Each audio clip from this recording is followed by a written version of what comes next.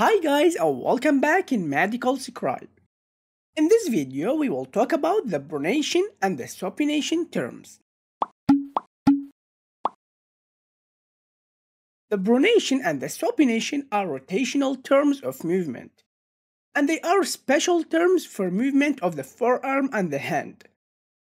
These two movements generally will occur when moving the distal end of the radius medially or laterally around the anterior aspect of the second bone of the forearm, which is the ulna, while the proximal end of the radius will rotate in its place.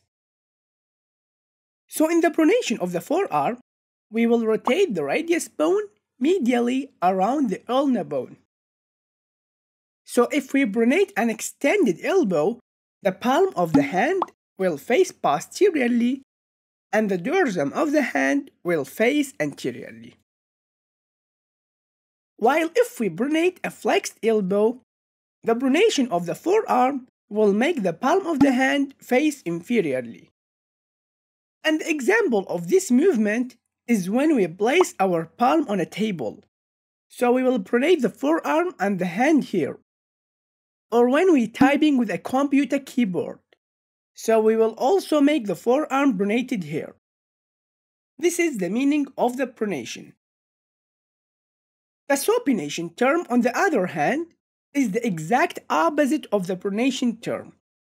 So we will rotate the radius laterally and returning the forearm to its anatomical position from a pronated position.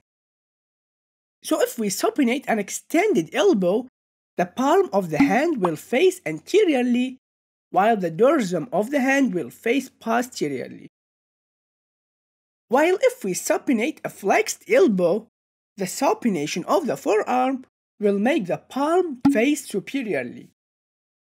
And the example here is when we hold a bowl in our hand. So the forearm and the hand will be supinated here. And this is the meaning of the supination. So that was almost everything about the pronation and the supination terms. And that's it. I hope what I said makes sense. See you next video and goodbye.